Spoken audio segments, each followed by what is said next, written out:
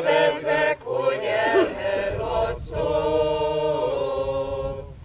ne hogy elhervasztó. A bukovinai székelyek hazatérésének 80. évfordulóját ünnepelték Kisdorogon. Az eseménynek a Nemzetiségi Emlékpark adott helyet, amely az öt bukovinai falut jelképező kopjafával, valamint Csaba királyfi a székelyek legendás vezérének melszobrával bővült.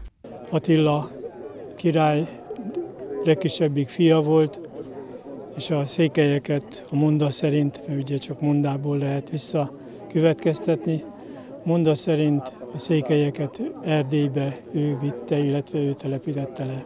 1940-ben Észak-Erdély újra visszakerült Magyarországhoz, így belátható közelségbe került újra az a föld, ahova vissza akartak térni a bukovinai székelyek.